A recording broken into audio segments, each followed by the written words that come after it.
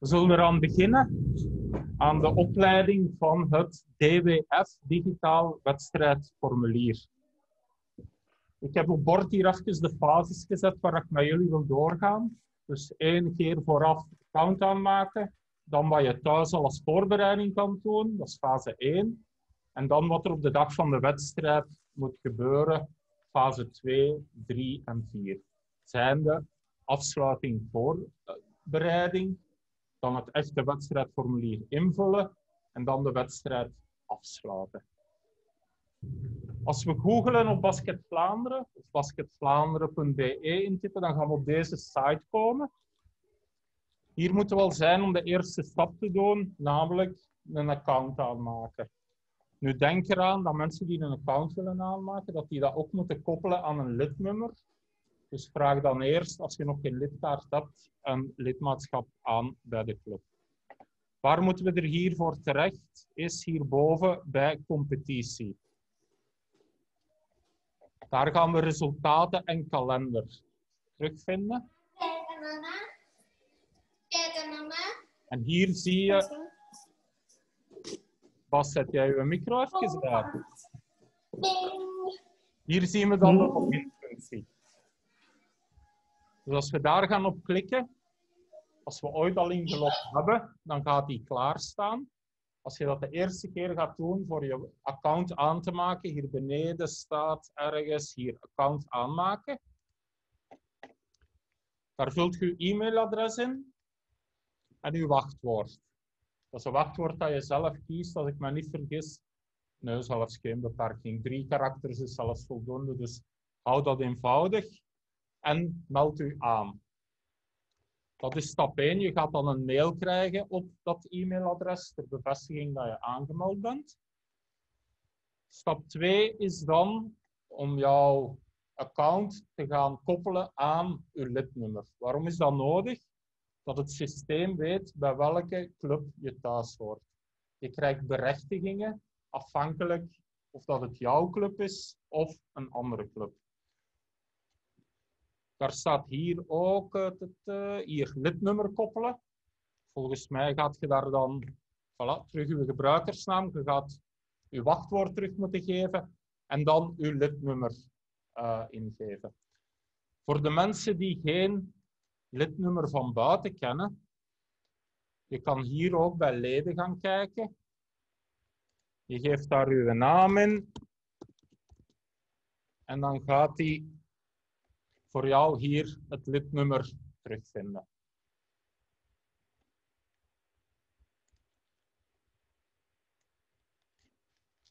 Dat is stap 1, wat je één keer moet doen. En dan ben je gesetteld voor de rest der dagen. Voilà.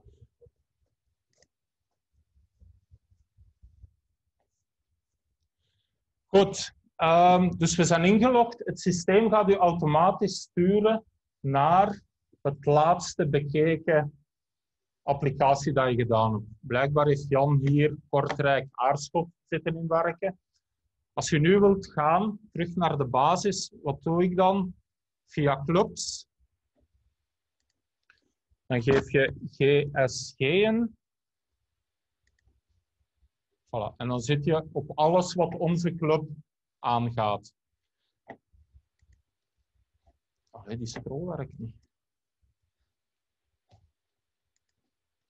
Ah. Oef, die staat ook gespiegeld.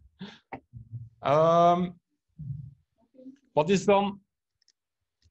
Dat wordt een moeilijke. Wat is dan... Dan gaan we naar de wedstrijd zelf. De fase 1 is de voorbereiding doen. Dat is eigenlijk iets dat je thuis kan doen. Je zag er juist, Jan had dat thuis al gedaan.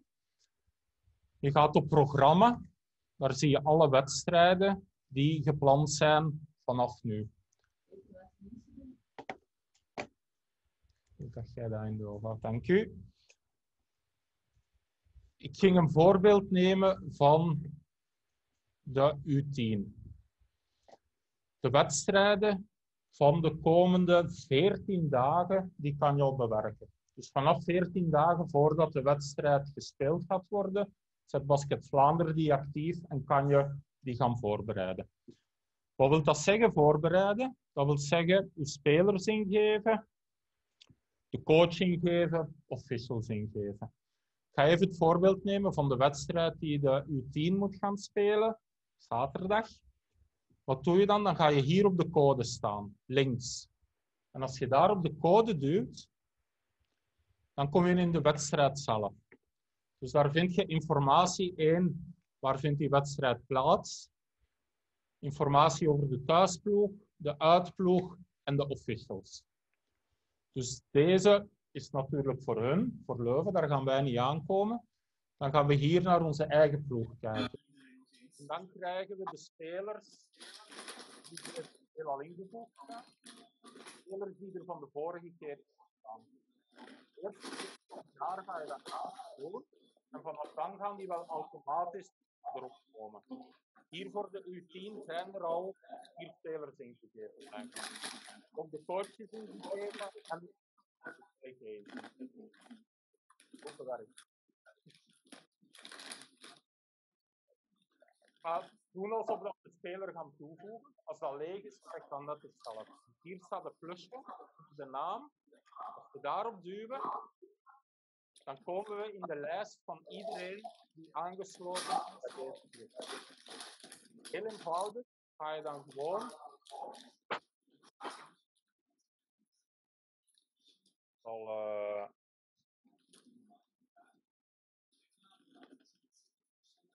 stuk van de naam die geeft een automatische zoekfunctie en hier kan je selecteren. Ik zal even doen dat Mats spelen. Stelt hij aan. Dan komt er een vraag naar welk rugnummer gaat hij spelen. Ga die even nummer 9 geven. Voilà. En dan kan ik die opslaan. Dan gaat die automatisch daarbij komen met nummer 9. En zo ga je eigenlijk heel de lijst afgaan. Zijn er nu mensen die ooit meegespeeld hebben, maar die elke week meespelen, dan blijven die toch in de lijst staan. Dus dat wil zeggen dat je volgend weekend misschien spelers er moet uithalen. Dat is ook heel eenvoudig. Hier op het kruisje wordt de speler terug verwijderd. Aanpassen kan je ook doen. Pak dat uh, Wout geen kapitein meer kan zijn. Dan gaan we hier eenvoudig dat wegvinken en opslaan. En dan gaan we Victor bijvoorbeeld kapitein maken. Zo. Dus dat is onmiddellijk dat dat geüpdate wordt. Ik ga het even terugzeggen of Sophie gaat kwaad zijn op mij. Dus dat is voor de spelers in te geven. Rugnummer en wie dat kapitein is. Wat er ook moet ingegeven worden, is de coach. Chris staat er hier. Ik ga eens kijken bij assistant coach. Daar komt automatisch een lijst van mensen die aangeduid zijn, die kunnen coachen op die ploeg. Dus hier ga je eigenlijk zelden moeten gaan zoeken achter mensen. Staat die hier niet in tijdens uw voorbereiding, thuis of hier voor de match, panikeer niet. We hebben straks in fase 2 nog een kans om mensen gaan toe te voegen. Het zou kunnen zijn dat er iemand moet coachen als deze twee heren bezet zijn, dat er iemand anders moet invallen. Die gaat hier in de lijst niet opduiken. We kunnen die ook niet zoeken. Die zoekt enkel in de lijst. Maar we kunnen zelfs in fase 2 dan nog wel opgelost krijgen. Dus dat zijn alle spelers. Dan gaan we naar de officials. Uh, het is een uitwedstrijd, dus we hebben iemand nodig die ginder de score gaat tonen. Het blad, dat heet officieel de score. Dus we gaan daarop tippen. We zien dat daar geen lijst beschikbaar is. Dus we kunnen niet op naam gaan zoeken. Wat dat we dan moeten doen, is hier via lidnummer zoeken. Dus het is handig als je ergens een papiertje hebt met lidnummers van de mensen die actief zijn binnen in je ploeg. Als je daar een lidnummer intikt en je doet opzoeken, dan krijg je automatisch de naam. Je slaat dat op En ja, ik heb het vlaggen, dus ik mag de score gaan doen. Ook hier kun je natuurlijk corrigeren via het kruisje. Dit is nog niet definitief. Dit is fase 1, dat is een voorbereiding. En dat is geen dat je thuis doet. Als je hier op de wedstrijd aankomt en je merkt dat een speler plots ziek geworden is, dan ga je natuurlijk voor de wedstrijd die daaruit halen. Ehm, dan gaan we naar fase 2. Zelfs kunnen we ook nog aanpassen voor als er andere dingen gebeuren. Dus dit is eigenlijk afsluiten van fase 1. Dan fase 2, dat doe je op de wedstrijd zelf. Dus dat kan je thuis niet doen. Waarom niet? Omdat daar ook de referee voor nodig is. Dat gaat over controleren. Wat doen we dan? Dan gaan we naar... Oeps, excuseer. Peter, misschien heel even teruggaan naar de pagina 4. Uh, je ziet daar boven staan, medisch attest. Ja, Daar staat nu overal schoon het vinkje. Als daar geen vinkje staat, haal de speler er eens uit. Dus kruisje, verwijder speler en breng er hem terug in. Want dat systeem kan Ja. niet automatisch opnemen. Want het weekend bij de tegenpartij was er dus niemand met zo'n ja. Ja. Allee, dat wil niet zeggen dat het wel in orde is. Hè. Dus als je het eruit haalt en terug insteekt, en het is dan geen vinkje, dan is het niet in orde. Eh, ja. Ja. Jawel, als je iets kunt tonen. Dit is een controle op de digitale aanwezigheid van het medisch attest in de database. Maar zoals Jan zegt, die wordt niet automatisch geüpdate. Dus als die speler daar al in zit, in de lijst, van voor zijn attest is geüpload, dan staat er geen vinkje. Dus even uithalen, terug inzetten. Nu, als we binnen een paar weken verder zijn, is dat allemaal in orde. Als daar iemand op staat dat nog niet is opgeladen, maar je hebt het attest op papier bij, ga maar gewoon verder. Want dan komen we in fase 2, dat is de controlefase. Dat doe je samen met de referee die aanwezig is. Je gaat via uitslag naar het digitaal wedstrijdformulier. Oh, ik heb gelogen er juist. Zo is het. Die 14 dagen is enkel voor fase 1. Dus fase 2 kunnen we nog niet doen. Maar dat is geen probleem. Volgens mij is er een wedstrijd op woensdag. Dus daar kan ik gaan kijken. Dat is binnen de vijf dagen. Dus de 23ste, links op code. Hier zie je dus hoe dat die lijst er volledig uitziet. Dubbelnummer staat er niet meer in, dus die is eigenlijk volledig klaar al. Dan gaan we naar uitslag. Vanaf hier, vanaf fase 2, komt er een tutorial. Ik ga gewoon daar naartoe gaan. Als ik terug naar. Uh, home. Helemaal beneden op het bord zie je dat je kan oefenen. Op Basket Vlaanderen staat er digitaal wedstrijdformulier. Daar kun je oefenen. Je kunt daar rechtstreeks ingeven, maar ik ga. En wat is de afspraak dat de PA blokt het voor ons klaar? Degene die het blad gaat invullen, of afgesproken? Dat is hoe dat je dat zelf in de ploeg overeenkomt. Ehm, de PA hoeft dat niet te doen. Degene die het blad doet, kan dat doen. Als je weet dat er tijd is hier op de wedstrijd, mocht je dat hier ook doen. Je bent dan niet verplicht om dat te doen, maar hou er rekening mee als er wedstrijden zijn om 10, 12, 2. Er zijn maar 20 minuten tussen. Die moet nu al gedeeltelijk gebruikt worden voor het ontsmetten en toestanden. Dan kan het stressy worden als er dan nog van alles moet, eh, moet gebeuren. Dus Jan is eh, de homepage via de praktische info. En daar hebben we hier rechts digitaal wedstrijdformulier.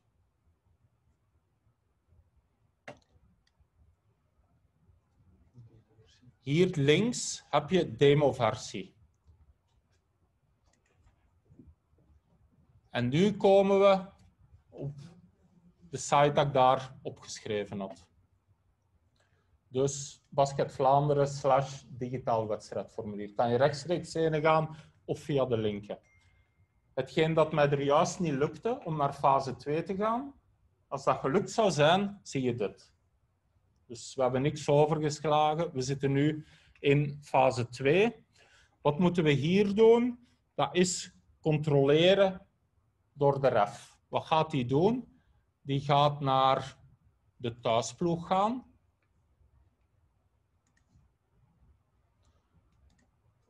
Ja, oké. Naar de thuisploeg en daar gaat hij alle nummers die je hebt ingegeven met de naam, geboortedatum, een foto, want al hun passen zijn ingeladen, dus die foto komt daarop. En hier bij medisch attest gaat dat groen vinkje terugstaan. Dus hier gaat een ref gaan kijken. Die mensen die hier op de foto zijn, zijn dat degenen die op het plein staan? Hebben die die nummer aan? Dat doe je even samen met hem. En die gaat kijken of het medisch attest er is. Als dat niet aangevinkt is, dan gaat u u vragen, toon het medisch attest van die speler. Als je dat dan op papier laat zien, dan gaat hij dat hier wel afvinken. Dan gaat hij die speler goedkeuren. En dan gaat u vragen, laat het alsjeblieft digitaal op, dat we het volgende keer zien. Maar het kan dus, maar dan heb je de papieren versie nodig. Dat is de controle. Uh, wat moet de coach dan nog doen? Die heeft daar ook werk. Dat is zijn starting five aangeven. Dus je roept de coach erbij en je vraagt coach, wie zijn uw vijf starters? En heel eenvoudig, hier staat de eerste vijf. Dus wie zijn de eerste vijf spelers? Hier heeft hij vijf en zes gekozen, acht en negen. Pak dat ik zeven wil, dan tik ik deze. Ah, het akkoord is al gegeven, hij staat al versleuteld. Ja. Dus je kan daarin kiezen. Als de vijf starters aangeduid zijn, dan, en dat is hier gebeurd, dan moet de coach versleutelen. Eigenlijk is dat zijn digitaal akkoord geven. Dan zegt hij van kijk, dit zijn mijn vijf starters, ik ga niet meer veranderen. Dit zijn ze. En dan versleutelt hij hier. En dit is hier in de demo-versie al gebeurd. En daarom kan ik nu niet meer veranderen van wie gaat starten of niet gaat starten.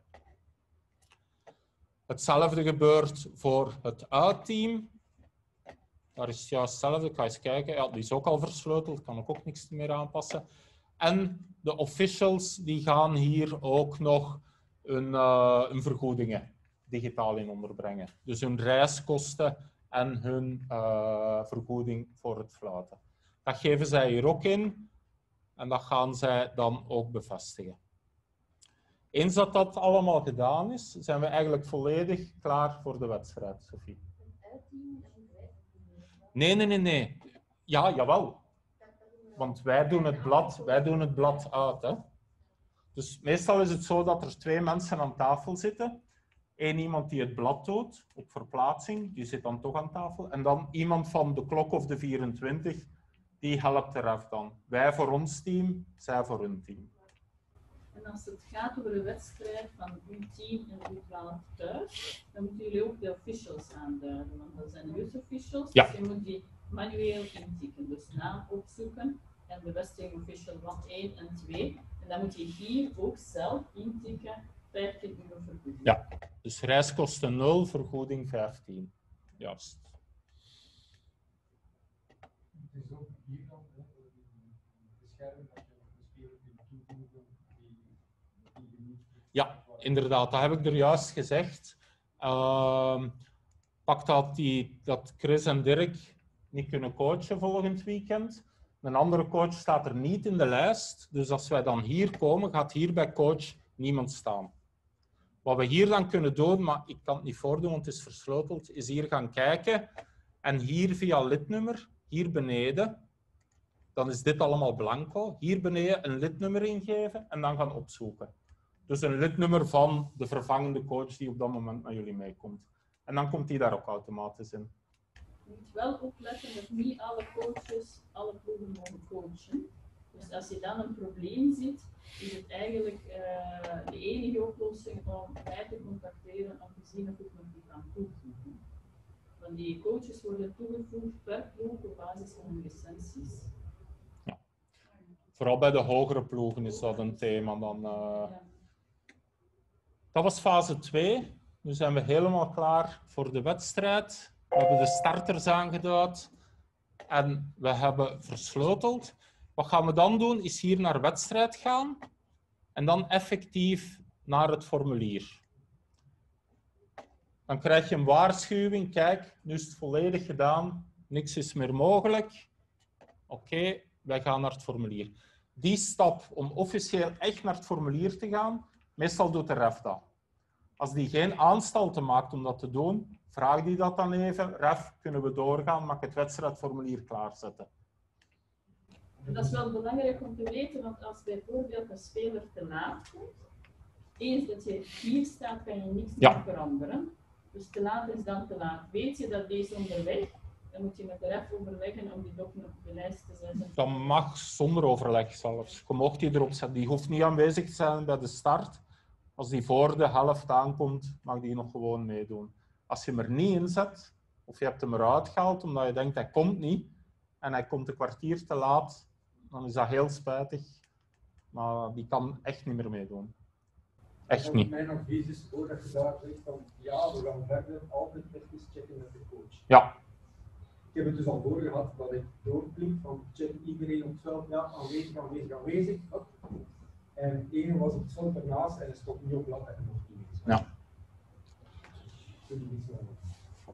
Goed, fase 3, dat is het echte wedstrijdformulier invullen. En dit is het werk dat dus ja, 40 minuten duurt. Hè. Dus dit is hetgeen dat je gedurende heel de wedstrijd doet.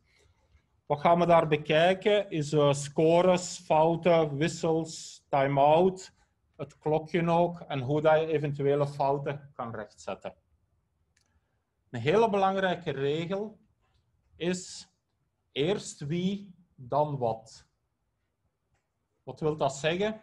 Eerst aanduiden wie iets gaat doen, de speler, en dan wat hij gedaan heeft. Dat is een belangrijke regel.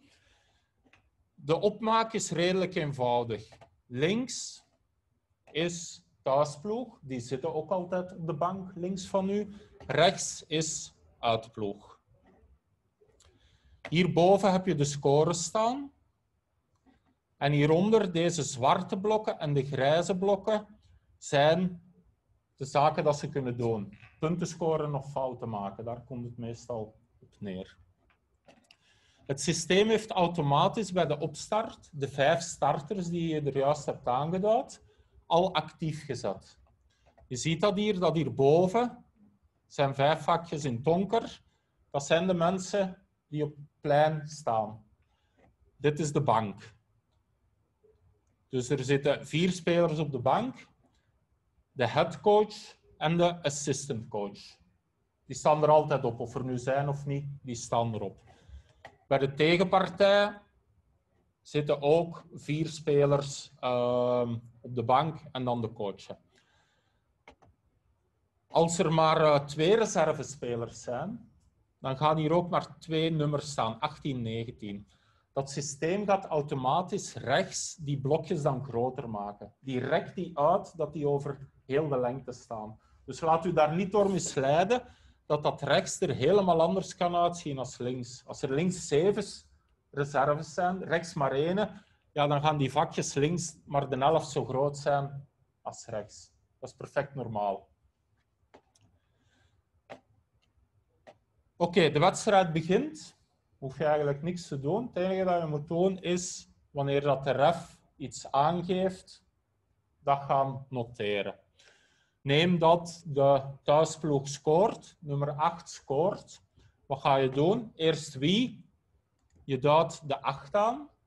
En dan wat? De bovenste lijn zijn de punten, de onderste lijn zijn de fouten. Ongetwijfeld ga je dat een heel aantal keren door elkaar halen. We gaan zelf zien hoe je dat kan corrigeren. Ja, met 8, twee punten, dan ga je gewoon op plus 2 staan en dan komen die twee punten erbij. Tegenpartij, nummer 15, die scoort twee punten. Wij scoren drie punten en zo verder. Dus dat is heel basic. Ehm, er is een aanval, onze 9 valt aan, maar die wordt foutief gestopt door de tegenpartij, nummer 14. De ref komt aan tafel, die geeft aan nummer 14, eerst wie en dan wat. Dan kijk je naar de ref, is het een gewone fout dat hij naar de zijlijn wijst, dan geef je P, penalty. Of nee, sorry, personal fault. Dat is de P van personal. Ehm, geeft hij nu aan dat het een eh, vrijworp is, twee vrijworpen dan, dan, ik ga terug aan 14 geven, dan doe je P2. Je ziet hier beneden ook, dit is eigenlijk uw lijst van alle activiteiten die je ingegeven hebt. Die vult altijd bovenaan bij. Dus het oude verdwijnt langsonder en de bovenste lijn is altijd hetgeen dat je net hebt ingegeven. Dus we zien de 14 heeft een P2 gemaakt. Onze 10 die mag twee shots nemen. Zijn eerste shot plus 1 als hij het maakt. Zijn tweede shot, ah ja, we gaan het ook laten maken, nog eens plus 1. Dus als je een P aanduidt, kun je niet Nee. speler. Ja, je kunt dat wel, dat systeem laat dat toe. Maar dat is niet, allee, die krijgt geen vrijworpen. Hè? Die krijgt geen vrijworpen. Als, eh, ik ga u ook wel laten scoren. Als nummer 16 scoort en daarbovenop krijgt hij een fout van onze nummer 8, dan gaat de ref aangeven scoren. Die heb ik net aangegeven. En dan geeft hij nog een P1 bij. Dus dan ga je nummer 8 hier P1 geven. En dan gaan we nummer 16 die terug laten scoren. Dus zo gaan we de score de hele tijd naar boven brengen. Deze? Ja, dat is goed. Fouten. Inderdaad, ik heb al een aantal fouten aangegeven. Je kan heel goed zien wie. Dus hier links, bij nummer 8, die heeft al ene P1 gemaakt. P, persoonlijke fouten. Nummer 14, die heeft al twee persoonlijke fouten. Daar staan twee blokjes langs. De blokjes die hieronder staan, zijn de totaal aantal ploegfouten in die kwarter. Dat is dat wat je op het scorebord ook ziet tellen. 1, 2, 3, 4. En dan gaat rood lampje op. Hier is dat hetzelfde. 15 maakt een P. 17 maakt ook een fout. En dan zie je automatisch dat die rood kleuren. Dat wil zeggen, in die kwarter staat die ploeg op vier ploegfouten. Wat gaan we dan doen als we dat zien? De mensen links of rechts van ons vragen om het rood vlagje of bordje, wat dat er ook aanwezig is, op te zetten. Om dus aan te duiden dat bij de volgende fout automatisch twee vrijworpen zijn. Dus dat is hier de elke fout, dus als nu de 16 een fout maakt, is het automatisch P2. Je hoeft dan zelfs niet te wachten op de ref. Die moet een P2 geven. Of een P3. Als het eh, op een driepunt was, ja, minstens een. Ja, ja. Maar als het gewoon een fout in het midden van het veld is, hij moet P2 geven. Doet hij dan niet, maak hem er dan even attent op dat de rode vlag erop stond en eh, dan corrigeert hij zich wel. De P3 is. Ja, ja, de P3. Dus je krijgt eigenlijk het aantal vrijworpen ter compensatie van de punten die je zou kunnen gescoord hebben. Als je een gewone lay-up doet, zijn dat twee punten, krijg je twee vrijworpen. Ja, ja, ja, ja. Zou je. Als je ze inderdaad gemaakt hebt, dan gaat je één bonusworp krijgen. Maar dat zijn zaken die de ref voor u doet. Hè. Dus de ref komt dat heel duidelijk aangeven met één, twee of drie vingers. En eh, meestal zegt hij er nog iets bij zelfs. Dus daar hoeft je niks van aan te trekken. Eigenlijk moet je hier alleen maar doen wat dat de ref u aantoont dat je moet doen. Als je daar een fout hebt, je hebt die P2 en je hebt de P3 zijn al Ja. Ja. Corrigeren, dat komt op het einde. dat komt op het einde. Dus de 15 maakt een fout op de 9. Dan, wie doet iets? 15. Wat doet hij? Een fout maken. Op het moment dat de 9 zijn fout gooit en hij scoort, dan gaat wel Ja, ja. Als dan een P2 is of zo, of een P1 en hij scoort, dan zeg je: oké, 9 heeft plus 1 of plus 2. Allee, plus 1 plus 1 of plus 1, whatever. Ja. Nu, er staat hier al iemand met redelijk wat fouten. De coach wil die afhalen. Je gaat dan links en rechts op de stoeltjes langs jullie, komen de wisselspelers zitten. Ehm, degene die aan de klok zit, doet signaal. Er wordt een wissel doorgevoerd. Wat doe je dan? Eerst wie? Die een speler langs u. Die wil iets gaan doen. Dat is de... Waar is mijn muis? Dat is een 20. Die wil opkomen. En wat gaat die doen? Die gaat de, 15 vervangen, eh, de 14 vervangen. Voilà. Dan gaan die automatisch door. Dus eerst de speler ingeven die opkomt. Want dat is degene die iets gaat doen. De andere gaat de bank op. Ja, je hebt daar een aantal mogelijkheden. Ik heb nu de, wat was het, een 20 voor de 14 en de volgende die klaar zit is 18 voor 16. En ik heb pech, want links zitten er ook twee klaar. Is 13 voor 9 en 7 voor 8. En dan, oei, het was niet 7 voor 8, maar 8, eh, 7 voor 10. Dan zeg ik gewoon, oh ja, kijk, eh 8 voor 10. Dat wordt hier allemaal bijgehouden. Ah nee, de, oh, dat is niet meer. Dat is nieuw. Vorig jaar stond dat erbij, in en uit. Ja. Misschien is dat enkel in de demo-versie niet. Ik denk in de echte versie wel. Ja, staat het nog in. Dat staat ook eens een wissel te veel, dan speelt geen rol. Nee, nee, nee, dat maakt totaal niet uit. Dat maakt totaal niet uit. Dat is één mogelijkheid. Sinds dit jaar is er een tweede mogelijkheid en dat is hier via de subknop. Die subknop dient eigenlijk voor na de time-out. Ga dat heel even eerst uitleggen en dan ga ik zeggen hoe dat je die nog kan gebruiken bij meervoudige wissels. Dus een time-out wordt aangevraagd door thuis of uit. Weer al de klok gaat dat aanduiden aan de ref. Van het moment dat de ref die toekent, ga je hier ook op digitaal wedstrijdformulier een time-out gaan registreren. Hier staat time-out en daar ook. Altijd goed kijken welke ploeg die aangevraagd heeft, thuis of uit. Dat is heel belangrijk, want ze hebben er maar twee in deze helft. Laat ons zeggen dat eh, de thuisploeg het doet. Ik duw time-out thuisteam. Ja, klopt. Wat gebeurt er nu? Alle spelers zitten op de bank terug. Logisch, er speelt niemand niet meer. En hier heb ik ook een klein klokje dat aan het lopen is.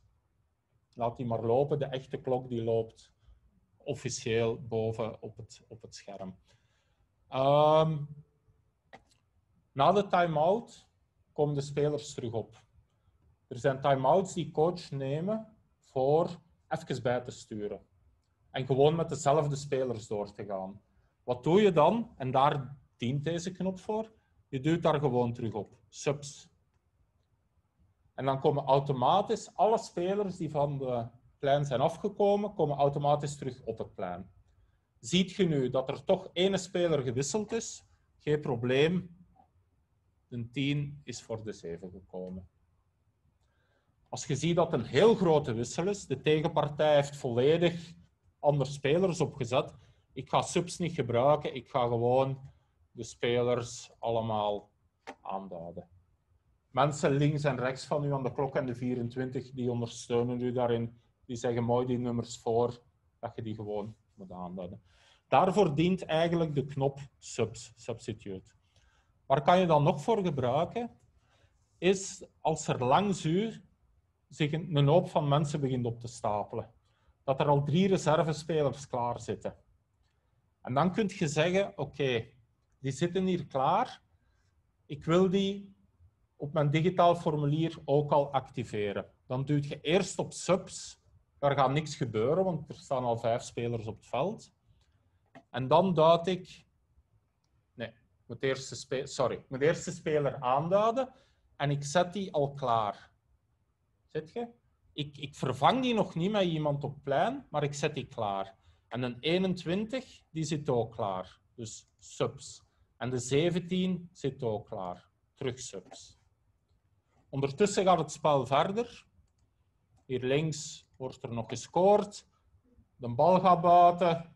Er mag vervangen worden. En nu moet ik goed kijken. Ik denk dat ik nu op subs moet duwen. Dus je ziet de drie spelers klaarstaan met de pijltjes. Ik duw terug op subs. Dan gaan hier de pijltjes ook komen. Die komen alle drie op en ik kijk gewoon wie komt af. Ah, de 18, de 19 en de 14 komt af. Ja, dat is handig als je dat wat geoefend hebt. Het zijn echt grote hoeveelheden van spelers die, die plots. ehm, als ze met twee ploegen tegelijk met drie man zitten, vraag rust aan die mensen van eerst links en rechts, wacht even, eh, want anders wordt het, wordt het moeilijk. Hè? Dus dat is wat er gebeurt met vervangingen en time-out. We zien ook bij time-out, eh, ik ga hier even terug een time-out voor de thuisploeg geven. Hup, ik ga ze allemaal terug opzetten. Dus die heeft zijn twee time-outs al gekregen. Een derde time-out in de eerste helft, dat mag niet. Dus volgens mij gaat dat systeem dat ook, voilà, die gaat dat ook niet aanvaarden. Dus op dat gebied is dat digitaal wel een voordeel. Veel fouten kun je niet maken. Die gaat u controleren dat alles wel juist is wat dat je doet. Dus die time-outs zien op, zijn op. Je ziet dat hier ook, die twee time-outs, die witte vakjes zijn ingevuld. Rechts niet. Met wat zijn die ingevuld? Die 1. Wat wil die 1 zeggen? Dat we in de eerste minuut van de kwarter zitten. Dus alles wat we tot nu toe gedaan hebben, was in de eerste minuut. Als wij naar de tweede minuut overgaan, dan moeten wij hier zelf handmatig een klokje bijhouden. Dus de persoon langs u die de klok doet, die gaat tegen u zeggen, kijk, we zitten in een tweede minuut. Of als je zelf het scorebord ziet, dan kan je dat zelf ook zien. Hier bij ons in Aarschot hangt dat achter uw rug, dan is dat moeilijk. Maar op verplaatsing hangt dat dikwijls in zicht en dan volgt je klok een beetje mee. Is dat officieel? Kan dat kwaad? Nee, eigenlijk niet zozeer. Behalve vragen de refs voor time-outs. Dus dat is wel belangrijk dat ze weten in welke minuut dat die een time-out genomen is. Waarom? Ik heb er ook geen idee van, maar sommige refs zeggen dat. En dan moet je manueel. Dat moet je manueel doen. Je kunt die koppelen aan de automatische, maar dat wil zeggen dat ze automatisch loopt. En dan moet jij ze ook elke keer als er gefloten wordt en het spel stil ligt, moet je die zelf stilleggen en terug starten. Dan zijn eigenlijk dubbelwerk aan het doen. Dan zijn het werk van de klok aan het overnemen. Ik zou dat echt afraden. Je kunt dat via instellingen hier. eh, hier eh, deze, via instellingen, kun je dat aanpassen. Maar ik zou dat echt niet doen. Dat is voor niks nodig. Laat dat. Die instellingen staan goed. Eh, we gaan dat zo laten. Dus elke keer als het time-out is, je daar ook... Nee, gewoon elke keer als je naar het scorebord ziet en je kijkt, oh, we zijn weer een minuut verder, dan klik je daar eentje bij. Als ik dat doe en ik zie dat zo nog maar vijf seconden is, dat de volgende minuut begint, dan klik ik dat ook al aan. Hè. Dat is onge- ongeveer ergens een afschatting te hebben. Dat is niet iets om te stressen. Nee, nee, nee, nee dat is niet, niet om te stressen. Als je dat de eerste keer gaat doen, die mensen langs u, die gaan zeggen van, oh, zeg, zet eens een paar minuten bij, we zitten al wat verder. Dus dat is, dat is geen ramp.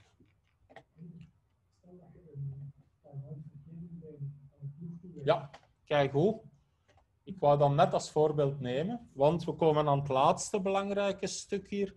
Nee, sorry, ik ben van de fouten nog één ding vergeten. Ze zijn redelijk braaf geweest. De fouten die we tot nu toe gehad hebben, zijn altijd P, P1, P2, P3. Er bestaan nog andere typen van fouten. Als er een onsportieve fout gemaakt wordt, dat er dus echt de laatste man onderuit gehaald wordt, of wat dan ook, komt de ref een onsportieve fout geven. Dat hij zo echt eh, de pols vastpakt. Hoe ga je dat doen? Ga de tegenpartij weer kiezen. Nummer 20 heeft een onsportieve fout gedaan. Die staat hier niet tussen. Dit zijn gewone persoonlijke fouten. Maar hier rechts zie je een omslagje staan. Dat is een envelopje met meerdere mogelijkheden. Als je daarop duwt, krijg je eigenlijk heel de uitleg. Dus diezelfde persoonlijke fouten staan daarin, maar er staan ook de U van unsportmentally like, de onsportieve fouten, die staan hier ook aangegeven. Meestal gaan het die zijn. Je kan nog een stap verder gaan, dat je onmiddellijk een disqualificerende fout krijgt. Dat gaat hopelijk niet te veel gebeuren. Maar die, die U's, dat komt regelmatig voor. Dus dan ga je die daar een U2 geven. Je ziet dat ook dat dat hier als U2 gegeven wordt. Hetzelfde met een technische fout. Eh, sorry, hier een vlop. Dus die staat hier ook in. Een technische fout. Dat is de T. Dat is compenserend. Ja, kijk, ik wou hier niet op klikken om iets te doen, maar dat gaat niet. Want ik wil al wat ingeven en ik heb nog niet gezegd wie. Ik ga even een andere kant pakken. Eerst wie, dan wat. C is compenserend. Eh, ik denk niet dat ik dat ooit al tegengekomen heb. Dat is iets dat ze teruggaan in het spel om u daar een compensatie te geven.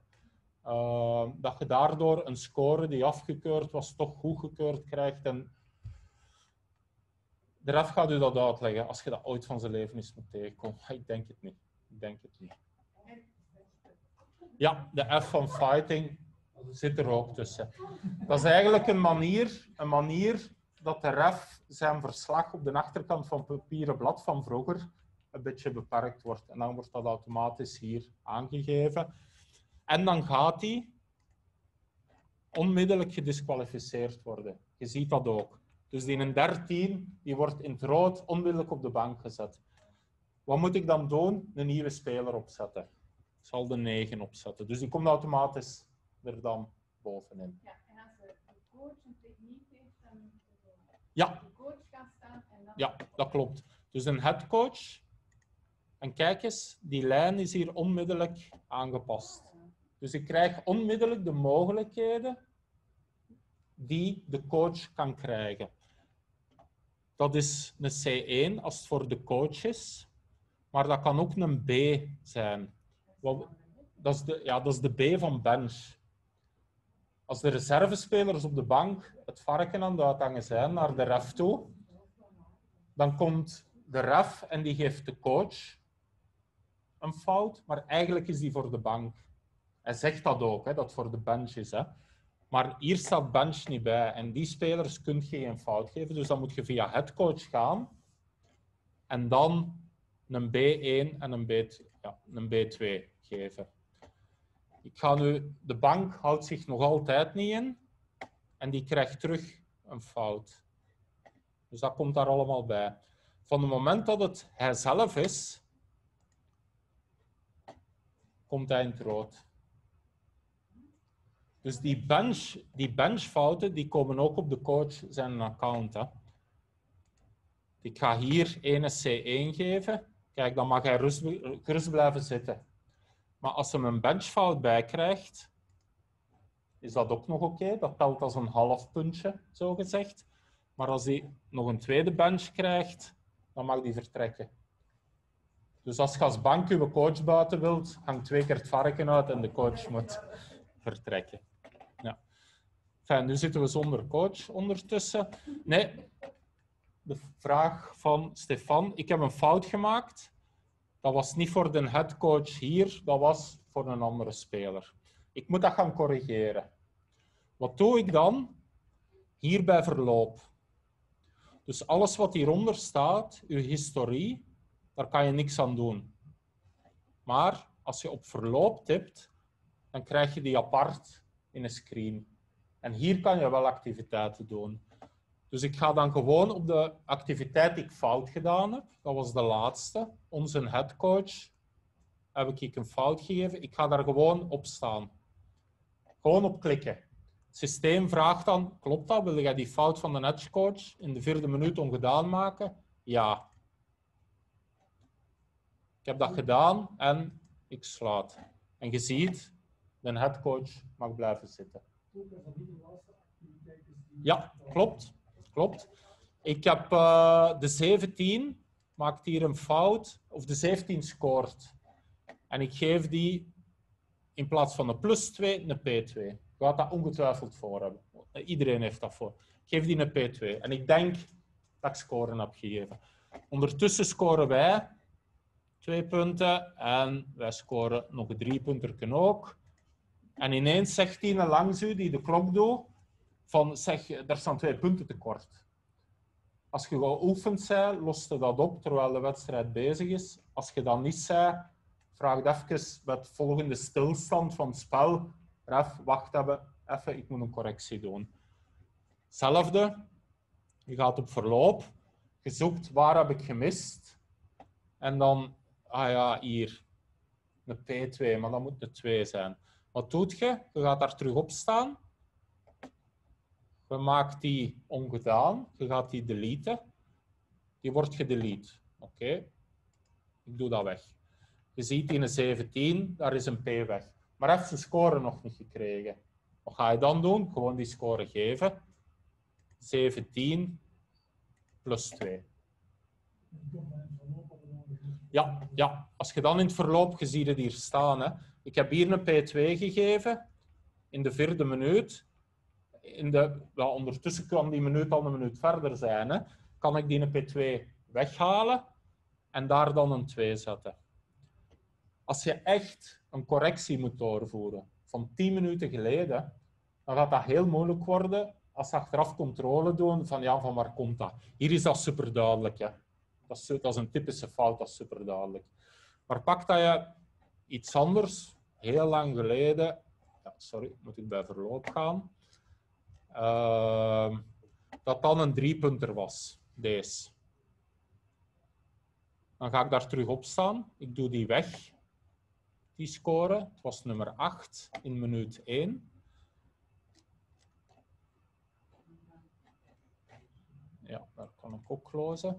En dan ga ik nummer 8 een driepunter geven. En wat je dan kan doen, is gewoon hier een opmerking bij schrijven. En dan schrijft hier, kijk, het was van thuisteam. Dan zeg je, score van 18 minuut 1 was geen 2 punten, maar 3 punten. Eender wat. Kunt je daar intippen. Ik sla dat op en dat komt hier automatisch bij.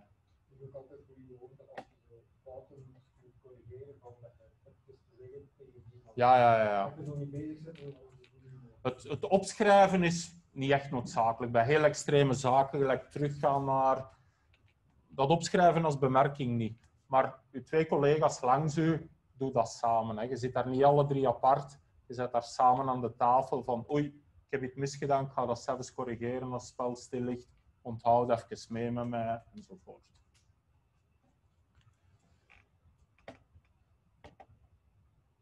Als we de eerste kwart erdoor zijn, 10 minuten zijn om, spelers gaan naar de bank, dan ja, moest die normaal al op 10 staan natuurlijk.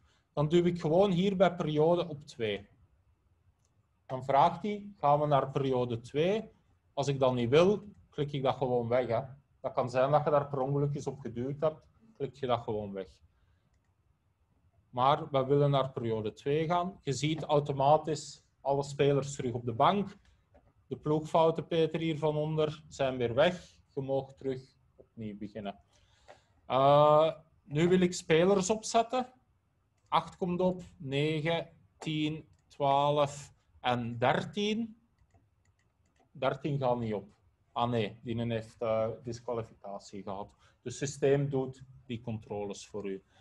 Uh, uitploeg komt met dezelfde spelers op als dat ze afgegaan zijn. Gewoon sub. Gewoon subs. En ze komen alle vijf automatisch terug. Zo ga je dus kwarter 2. Dan gaan we naar kwarter 3. Kwart, tussen kwarter 2 en 3 is half weg. Je weet dat de pijl dan gedraaid moet worden, omdat de ploegen van kant uh, verschillen. Het systeem gaat u daar even bij ondersteunen, want het is anders altijd van, ja, hebben we de pijl nu gedraaid of niet? Die vraagt aan u, kijk, wie heeft balbezit? Naar waar staat de pijl bij het einde van kwarter 2? En dan zeggen we, ah ja, die staat naar uit. En dan wordt automatisch weergegeven. Dan gaat je de pijl draaien of niet draaien, je vergeet het, whatever, of je draait hem twee keer, ieder doet het ene keer. De volgende kwarter begint, je gaat gewoon kijken, ah oké, balbezit naar rust is voor het A-team. Je direct die controle. Na kwartier vier.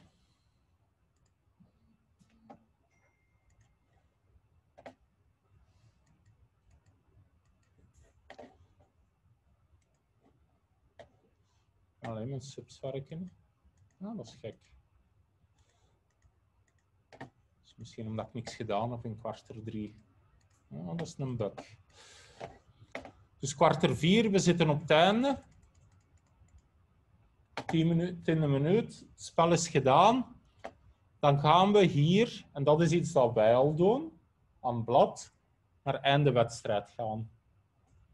Tenzij het verlengingen zijn natuurlijk, dan gaan we hier naar, naar 5 gaan. Hè. Maar in reguliere competitiewedstrijden die dat wij doen, geen verlengingen, dus einde wedstrijd.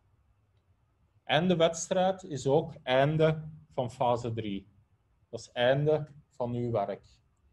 Fase 4 is het afsluiten van de wedstrijd en dat moet de ref doen. Waarom moet hij dat doen? Omdat die bij de uitteam en het thuisteam aan de coach vraagt: is alles in orde? Je bemerkingen die ik moet opschrijven? Nee, oké, dan gaat hij dat aankruisen. Heeft hij zelf nog bepaalde bemerkingen of zoiets? Indien niet, kruist hij dat ook aan.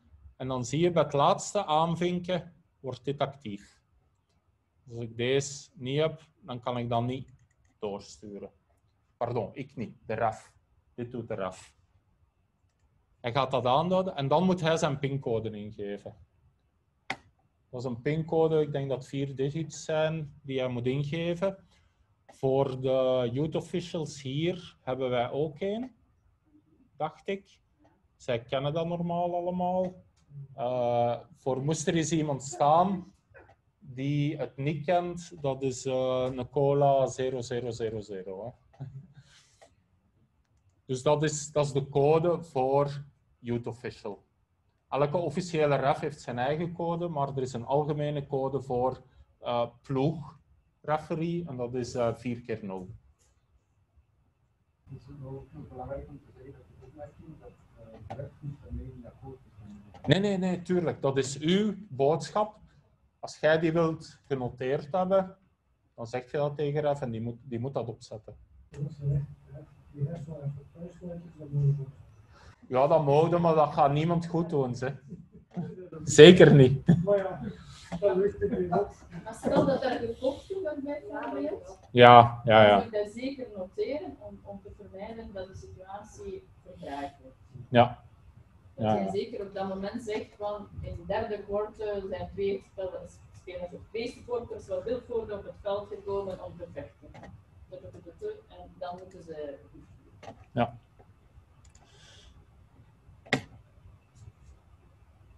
Dat was hem. En de wedstrijd is ook einde uitleg. Ik ga u zelfs juist een tutorial een keer laten zien, tenzij dat er hier iemand nu nog een specifieke vraag heeft naar eh dit. toe.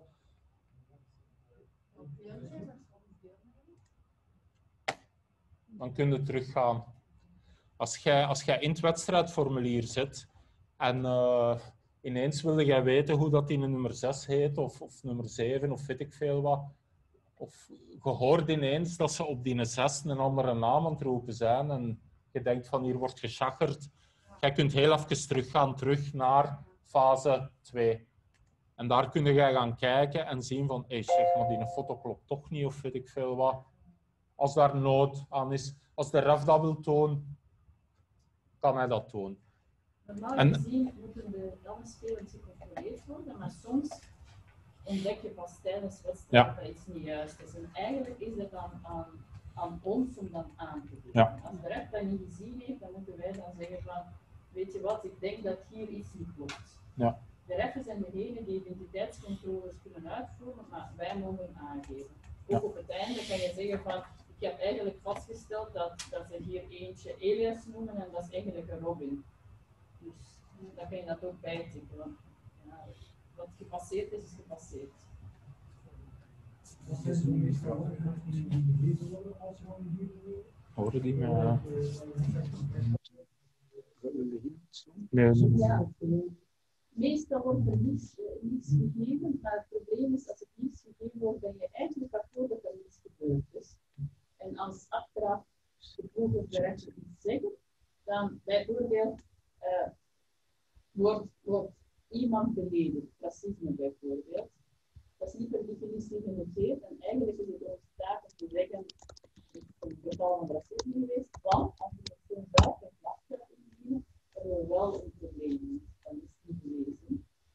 En dat is, dat is lastig.